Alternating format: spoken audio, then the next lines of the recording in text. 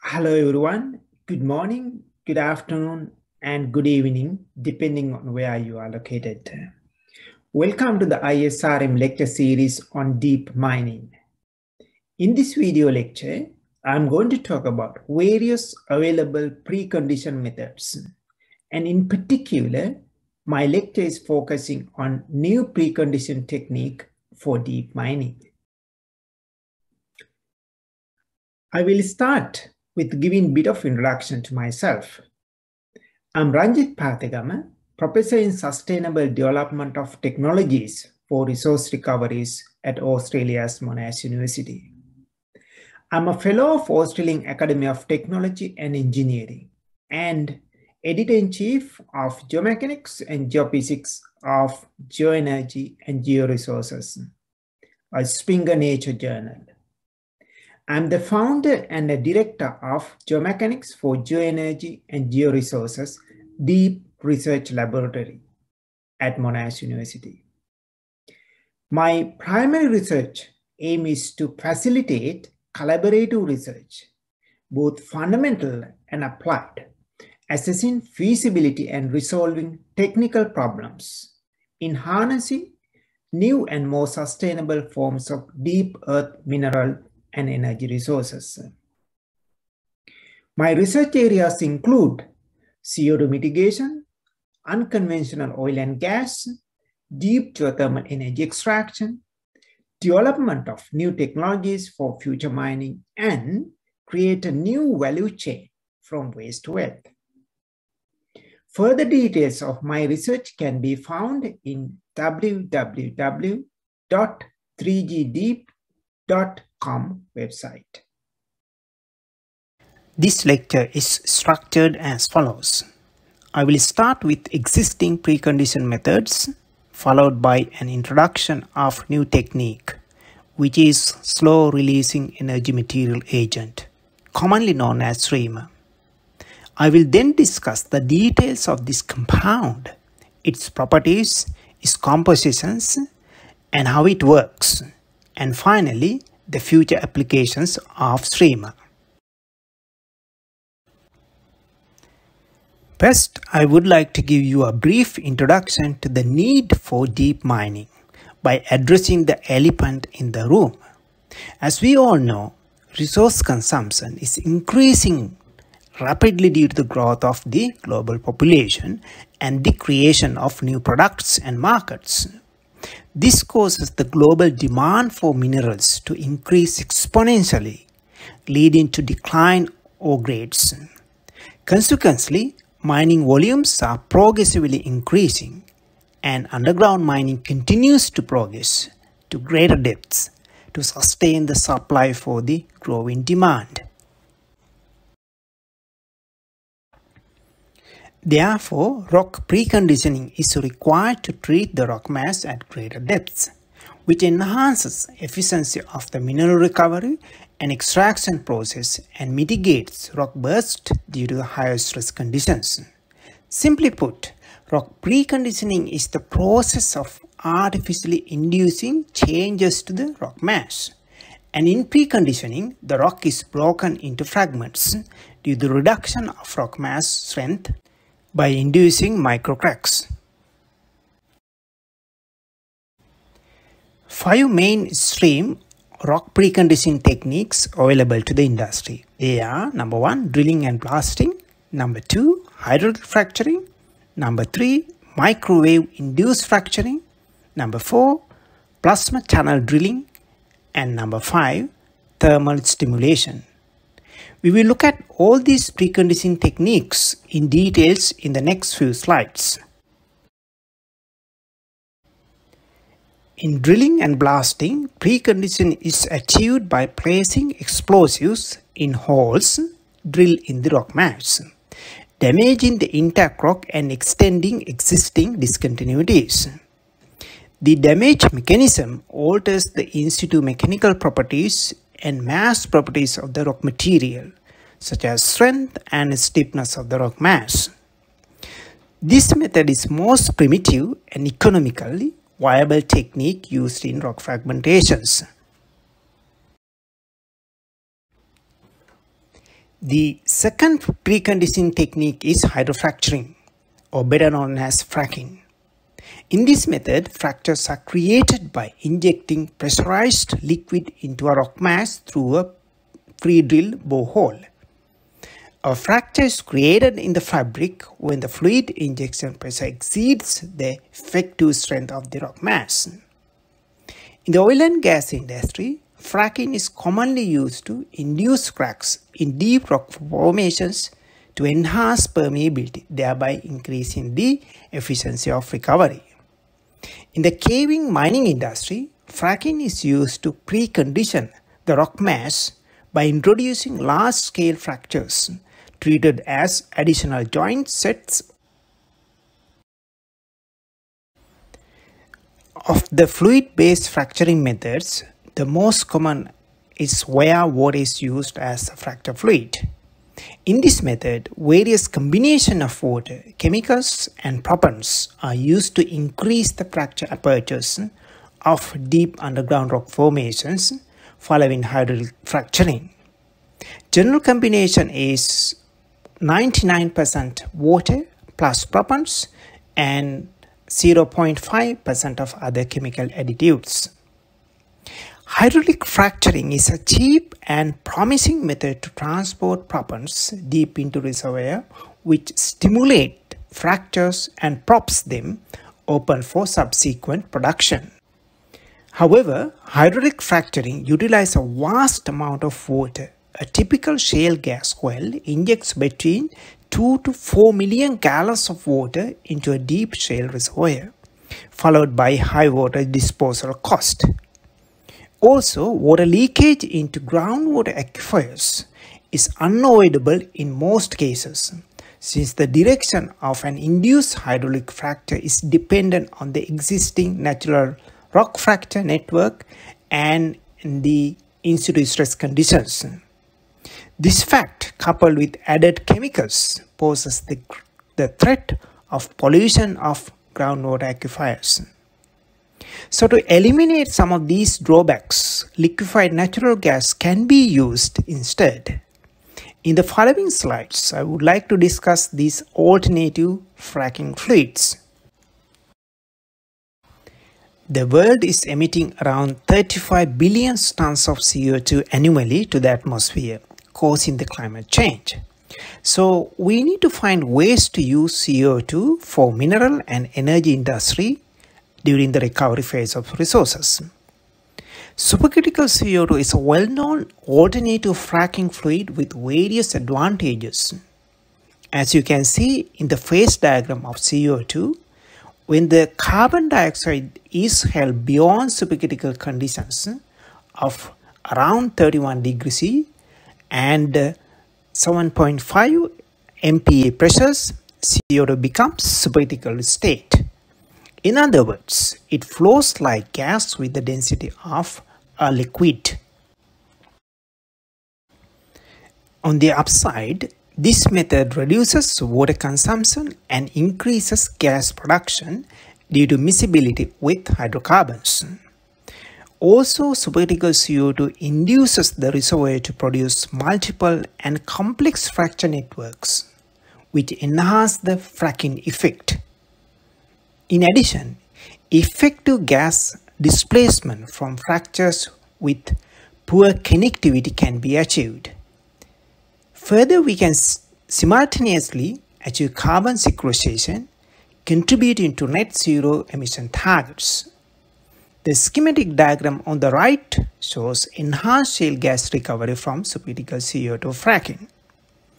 On the downside, the cost of capturing and pressurizing and transporting CO2 is higher than the simple use of water.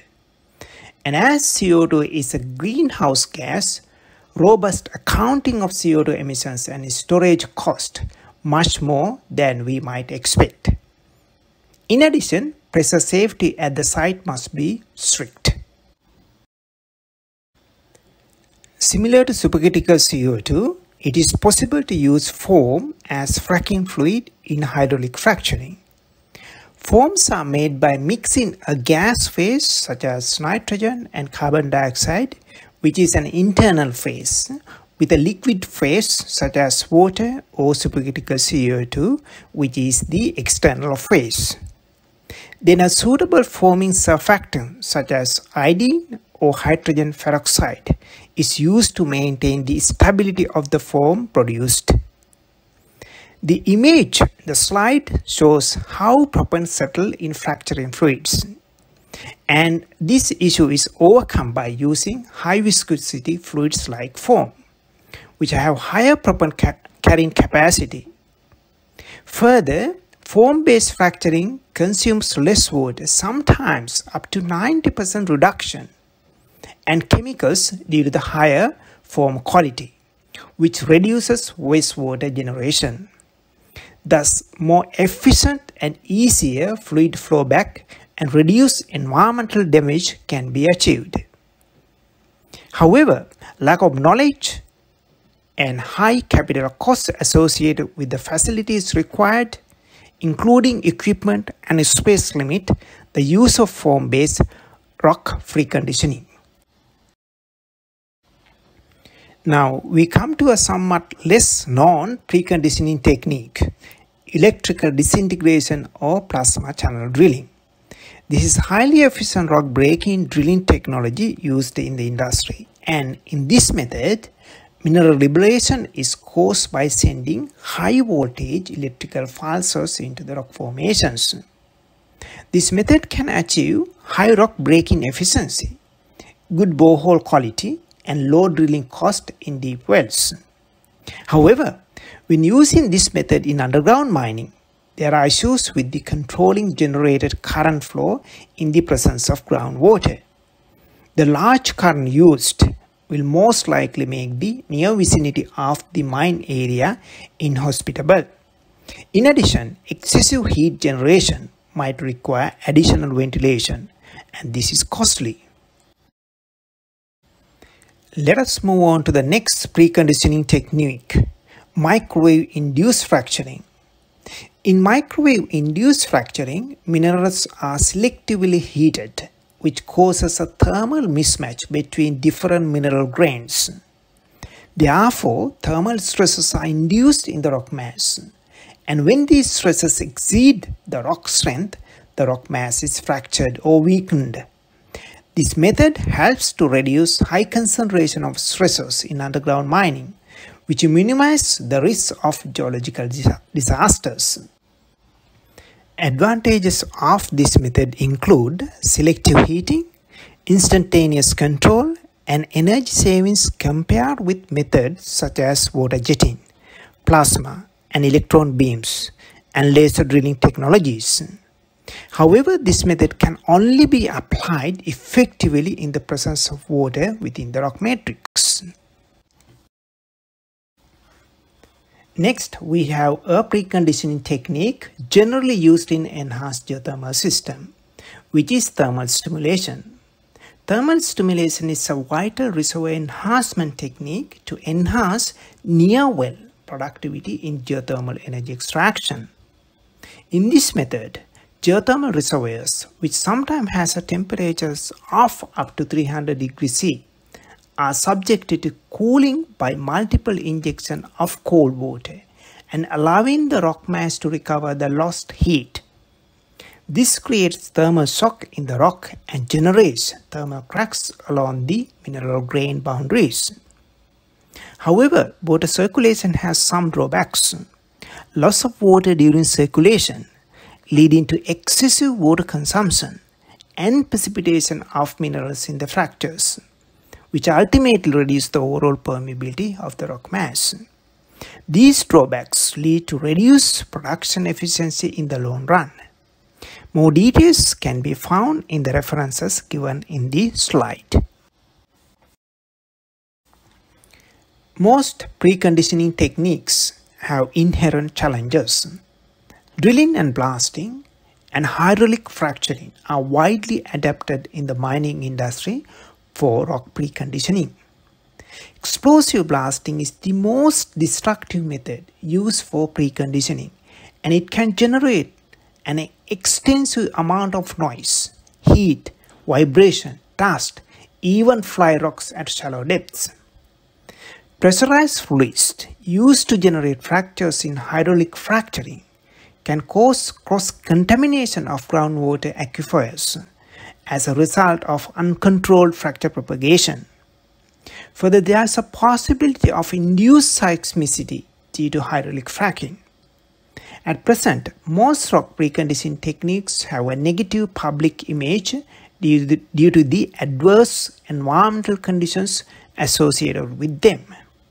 And therefore, hydrofracking has been banned or in moratorium in many places around the world.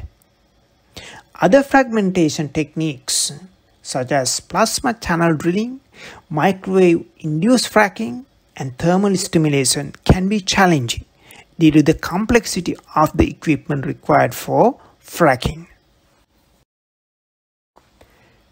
Moving on to the next slide. Mineral extraction from conventional mining techniques has become more complicated in recent decades due to the decline of ore grades, difficult mineralization, and escalating demand for minerals due to the growth of the global population.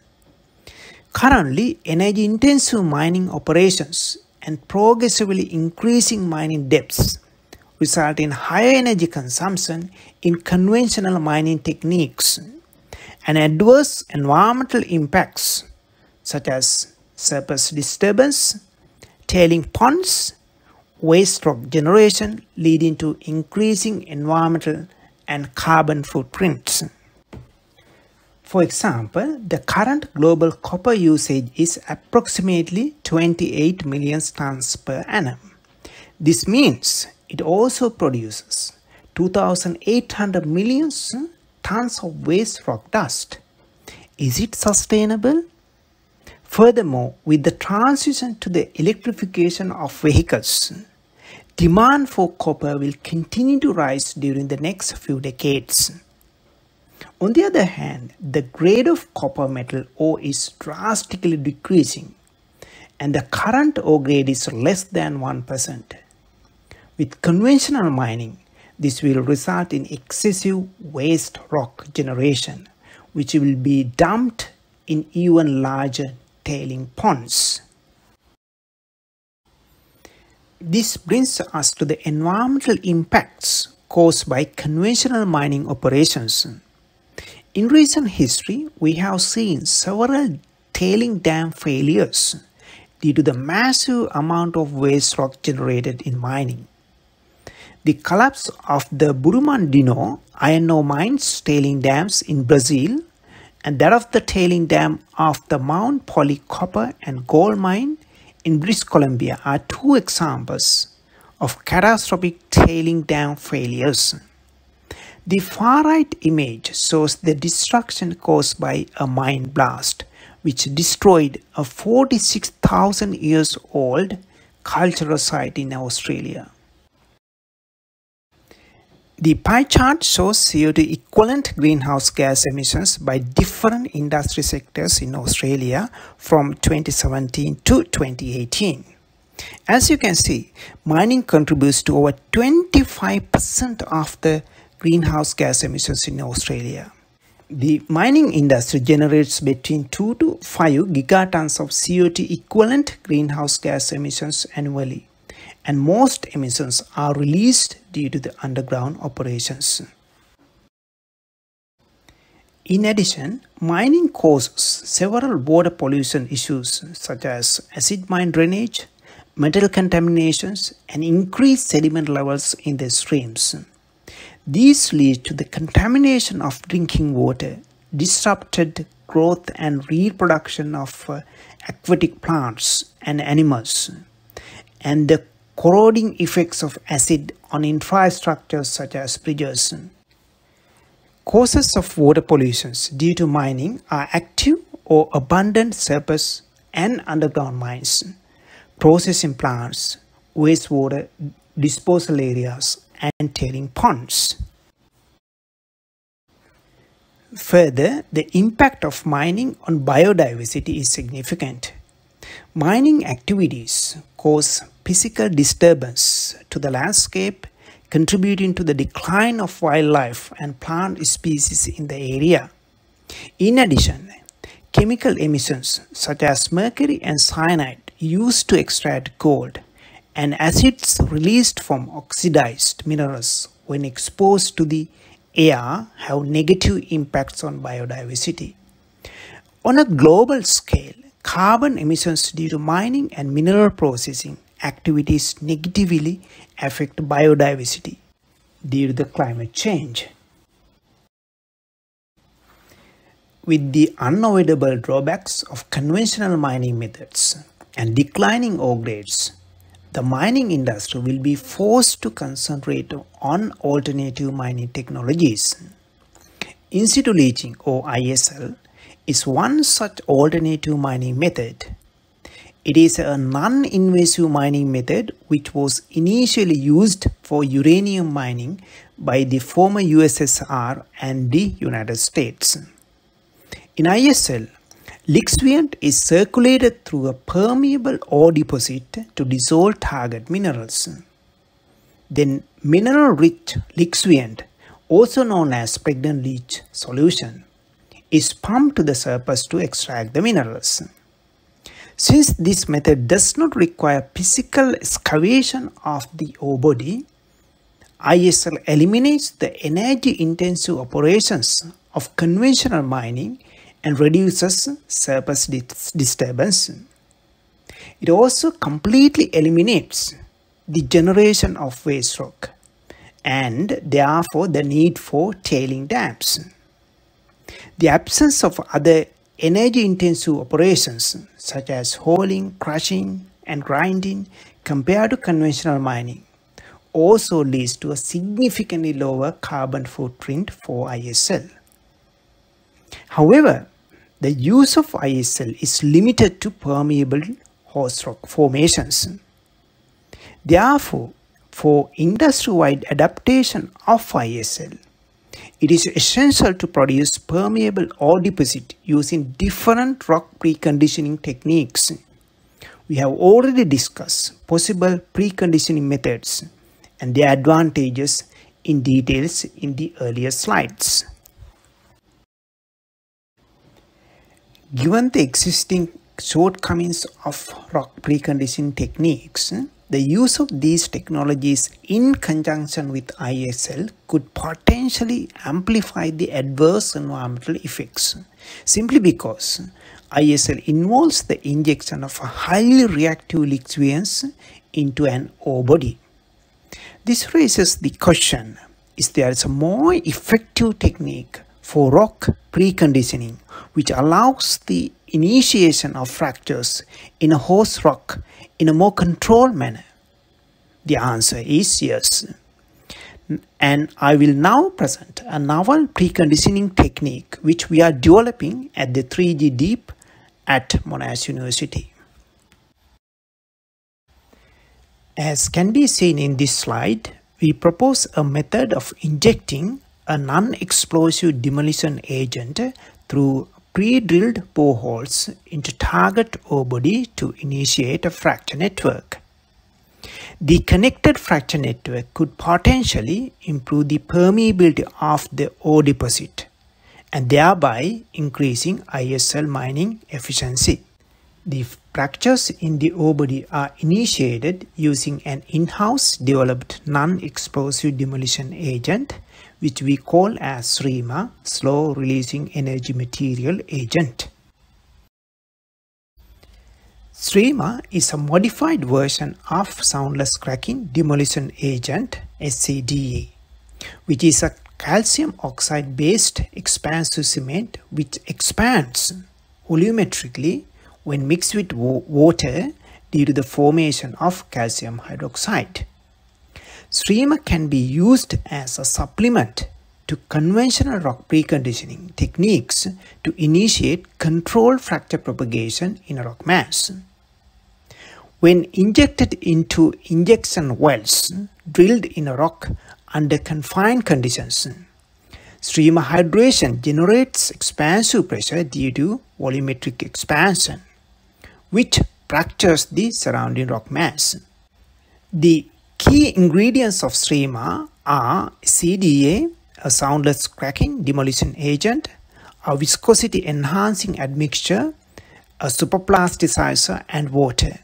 I will discuss these ingredients in detail in the following slides. As explained before, SCDA is the key ingredient in SREMA and it is also known as soundless cracking agent, expansive demolition agent, expansive concrete and non-explosive demolition agent. SCDAs are utilized for concrete demolition and rock fragmentations in densely populated areas where explosive blasting is hazardous. A CDA is a grayish, powdery and non-explosive compound consists of cementitious and expansive components. This image illustrates the application of SCDA. SREMA is known for releasing energy slowly during the fracturing process, thereby maintaining a controlled fracture propagation compared to methods such as hydraulic fracturing. A hydraulic fracture initiates when the stress intensity factor at the crack tip exceeds the fracture toughness of the surrounding rock. Therefore, once a fracture initiates, the fluid pressure at the crack tip continues to propagate the fracture, making it very difficult to control hydraulic fractures. This also causes hydraulic fracturing to produce a single fracture plane depending on the initial stress conditions.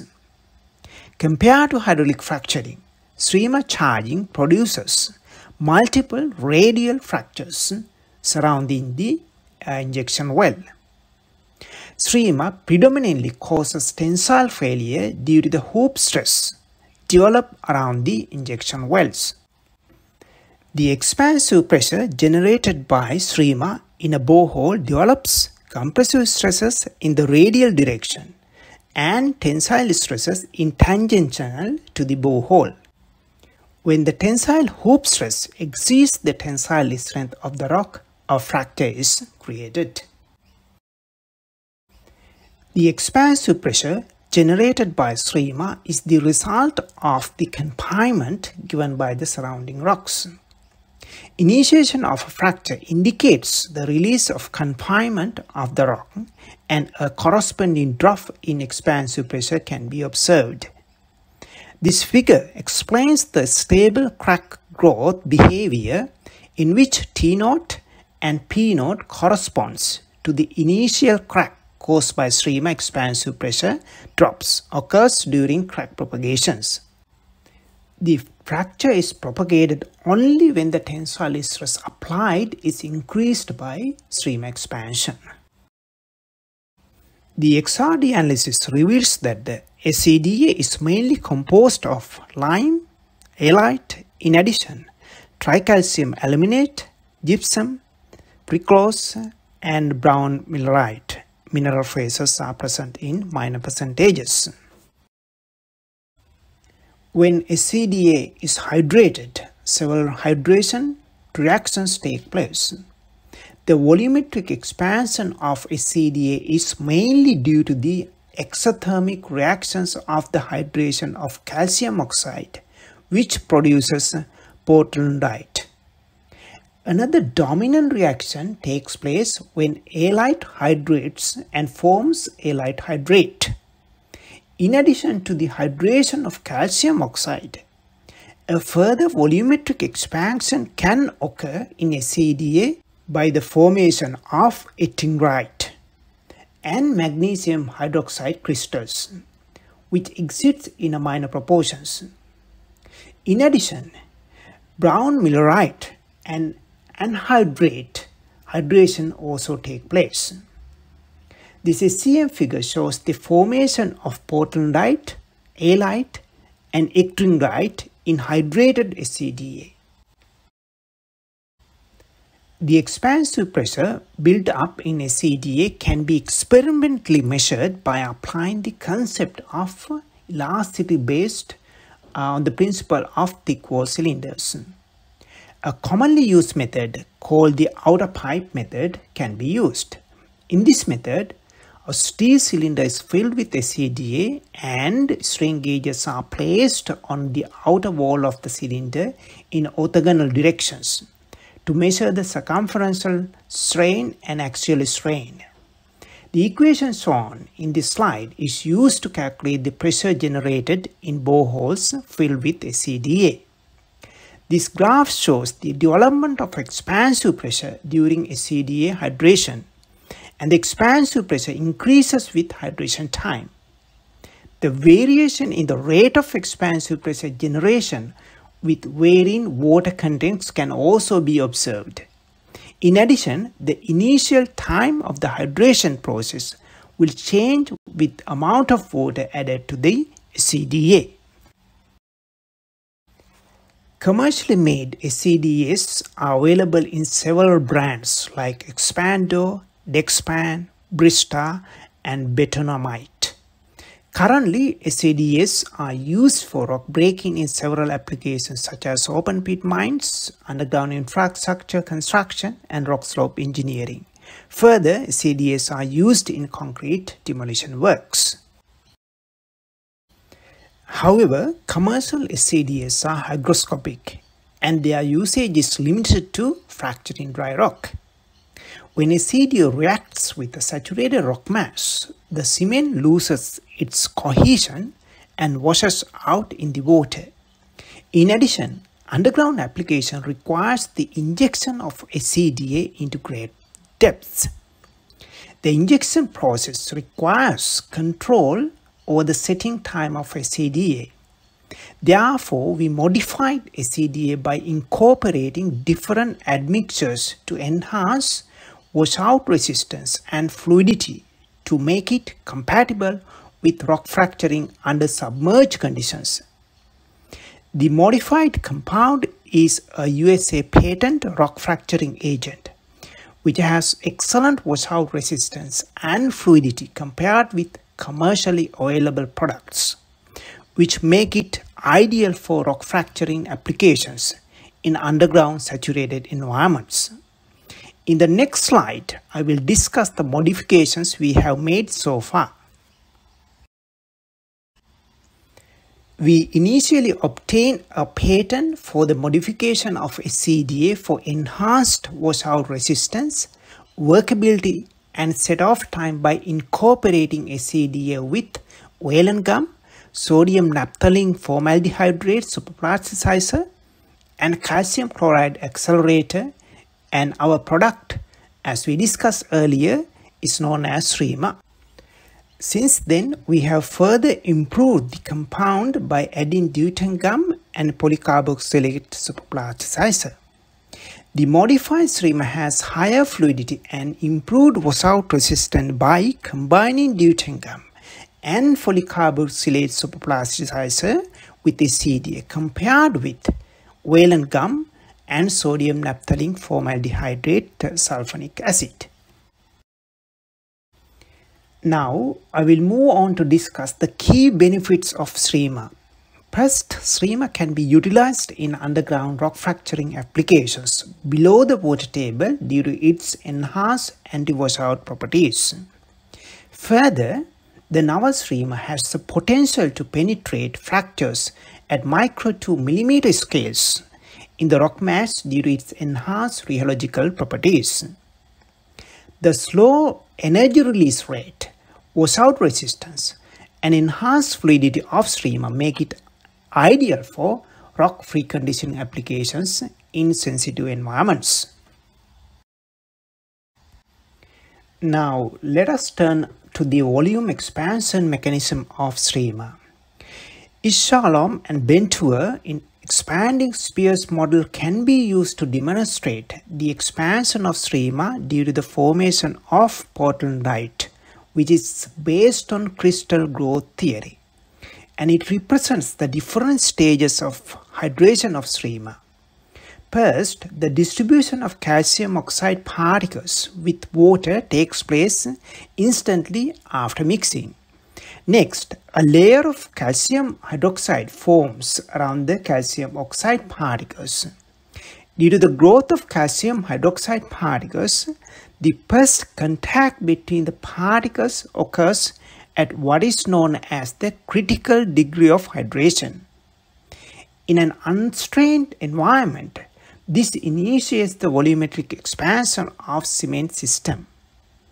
Under restrained conditions, when injected into a borehole, the volumetric expansion of the particles creates an outward expansive pressure, which ultimately fractures the surrounding rock. Of the various theories reported in the literature, crystal growth theory and swelling theory can be used to describe the volume expansion mechanism of SREMA due to ettringite formation. These two theories were initially used to describe the sulfate-related expansion of sulfur aluminate expansive cement, which is attributed to the formation of ettringite. The crystal growth theory suggests that the ettringite crystals, which form on the surface of the expansive particles or in the solution, are countable for the expansion. The mode of formation of ettringite is a, a topochemical reaction as shown in figure. Here, the reaction happens on the surface of the solid without the dissolution of uh, constitutes in the solution. Expansion occurs when the thickness of the layer of expansive particles exceeds the solution thickness at a critical degree of hydration. This results in the development of contact pressure and the separation of particles. Swelling theory suggests that the water absorption characteristic of a ettringite causes expansion. In this case, the reaction takes place by through a solution mechanism in which the reactants dissolve and produce ions in the solution. Then the ions are combined and the resultant product precipitates from the solution which is presented in figure B. According to this theory, an ettringite particle has a net negative charge and the size of colloid means it can absorb water molecules to the large specific surface area. Hence, swelling pressure, pressures are developed, resulting in interparticle double layer type repulsion, causing the expansion of cement. Moving on to the next topic, I would like to discuss the factors which influence the performance of SREMA. The first factor is the water content of SREMA. This graph shows the variation of expansive pressure of a CDA with moisture content and ambient temperature. The uh, water content is inversely proportional to the expansive pressure generated in a CDA and the critical degree of hydration. Increasing the water content increases the time taken to reach the critical degree of hydration in cement system. The manufacturer recommended water content of 30% for a CDA is a compromise between the fluidity of the compound and its peak expansive pressure generation potential. The most of water content of the compound is utilized to improve the fluidity of the system and the amount of water required for the chemical reaction is much less. With water contents lower than 30% SREMA can potentially produce high expansive pressure. However, this is at the expense of fluidity. The temperature is another influencing factor it is directly proportional to the expansive pressure generated in a CDA. Temperature peaks are observed in a CDA 4 to 5 hours after mixing with water and steep pressure spikes are generated simultaneously. The main reactive equation of a CDA systems, which is the calcium oxide reaction, is exothermic, meaning it generates heat during hydration. This heat generated further accelerates the rate of reaction of calcium oxide particles. At high uh, temperatures, above 30 degrees, SREMA reacts. Heat could potentially cause the pre-water in the system to boil and cause a blowout. However, when controlled with the correct additives, increased ambient temperatures lead to accelerate expansive pressure generation as shown in uh, the figures. The development of expansive pressure depends on the stiffness of the rock in which it is used. Recalling the volume expansion mechanisms discussed earlier, an expansive pressure is only generated if the material surrounding SREMA resists its volumetric expansion. The greater the stiffness of the surrounding material, the greater the generation of expansive pressures. Therefore, a SREMA is most effective in fracturing brittle rock masses with low threshold for deformations. The figure shows how expansive pressure develops in different rock materials over a specific time period. Admixtures critically influence the performance of SREMA. The impact of a number of different admixtures on a CDA has been studied so far. Hinze and Nelson investigated the workability of a CDA-based compound by adding a superplasticizer. According to their results, a CDA consists of 20% solid water and superplasticizer can produce higher expansive pressures with improved workability in contrast to the control when the quantity of water is lower than the recommended level of 30%. This is because a lower water content reduces the critical degree of hydration in uh, a CDA system, allowing quicker initiation of expansive pressure generation. We also investigate the hydrophobicity and fluidity of a by incorporating welan gum, a viscosity enhancing admixture, and naphthalene formaldehyde sulfonic acid as superplasticizer. To obtain the maximum performance of SREMA, 0.1% welan gum and 1% superplasticizer were added to the CDA. However, the addition of 0.1% of welan gum uh, to the CDA significantly reduce the rate of generation of expansive pressure compared to the control one. This is because welan gum in the system binds free water molecules and hinders the hydration reaction. Further, some researchers, as given in the slides, um, use accelerators such as calcium chloride to accelerate the hydration reaction of CDA. The workability of SREMA is one of the most crucial characteristics of SREMA that requires improvement because the injection of SREMA a few hundred meters below the ground requires high fluidity for a sustained period of time.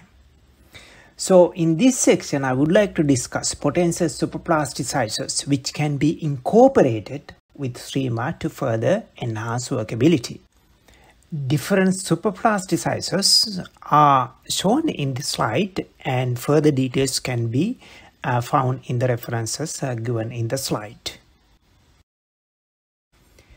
Next, I will focus on the SREMA-induced fracture networks under different confinement conditions. As we discussed earlier, when the expansive pressure in the borehole exceeds the strength of the rock, a fracture is initiated from the borehole and propagates. However, under no confinement or axial stress conditions, fractures around boreholes propagate in four directions. This distinct fracture pattern in SREMA charge fracturing surrounding borehole has been observed in several experiments.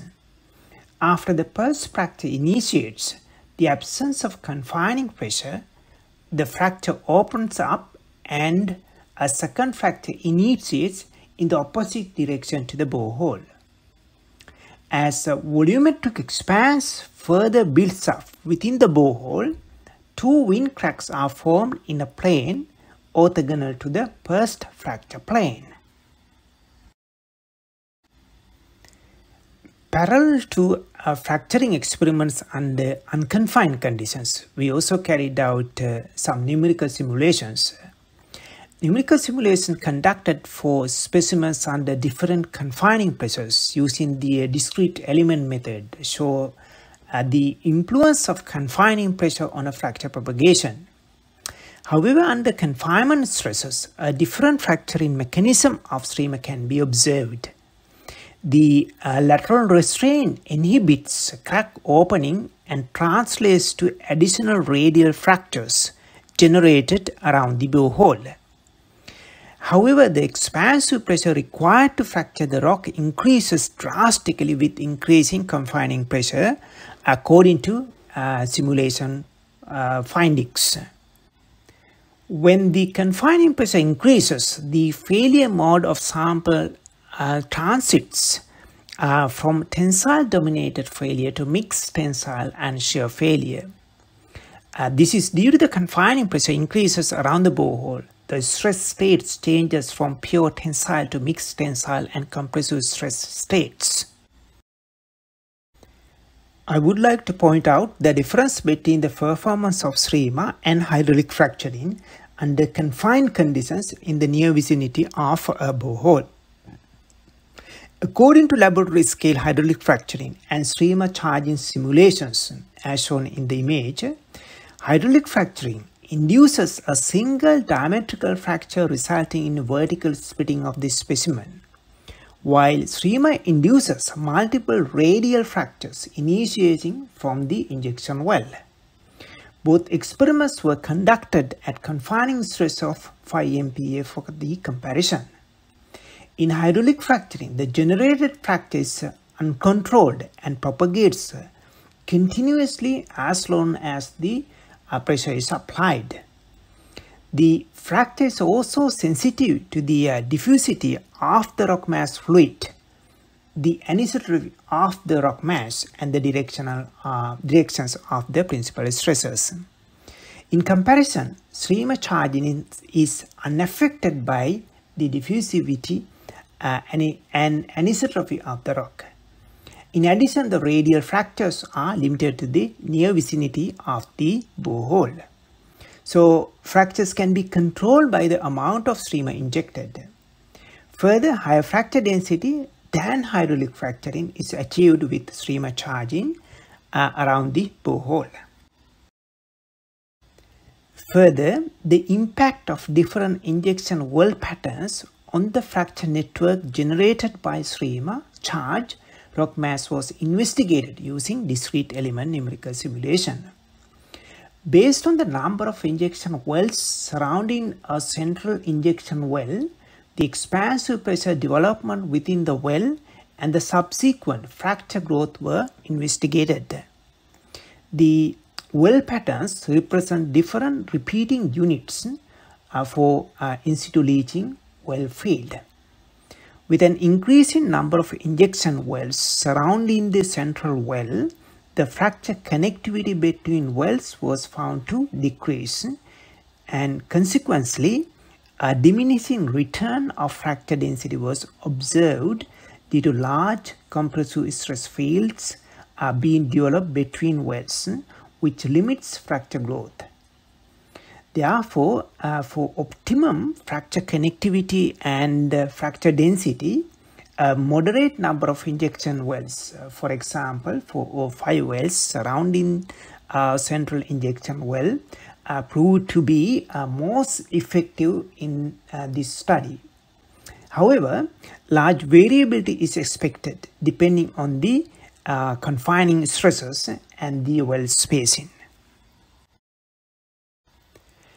Uh, then the fracture performance of uh, in jointed rock mass was assessed by experimental analysis of sandstone specimens uh, with artificially created joints uh, followed by uh, some numerical simulations.